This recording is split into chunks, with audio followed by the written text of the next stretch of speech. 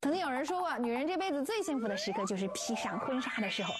也对啊，毕竟有些女人脱下婚纱以后，就穿起了围裙，开始给男人做饭，无聊的家庭主妇生活就开始了。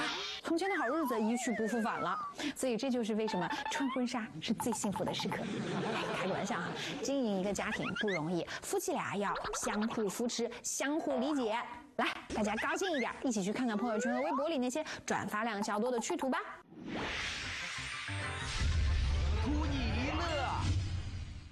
只能探出我的小脑袋，在暗中观察家里的情况。爸爸妈妈都去哪里了？怎么都不管我的事儿了呢？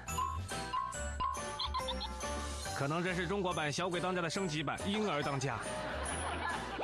此时此刻，我只想跟着节奏唱：一人我赢奶醉。这个事件告诉我们，醉奶驾驶很危险，喝奶不开车，开车不喝奶。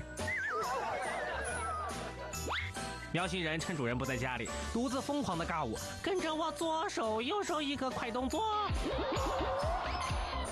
喵星人表示，我控制不住我自己呀。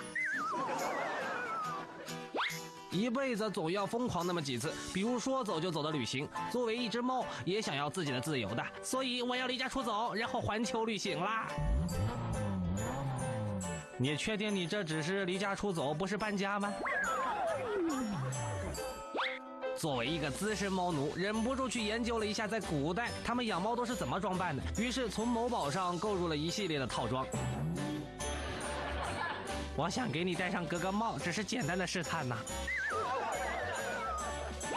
这是我的猫，昨天抓回来的。我从来没见过这么生气的兔子。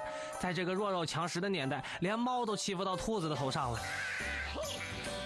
兔子表示：“敢不敢把我放出来？我要再和他 solo 一把，或者大战三百回合，为了自由。”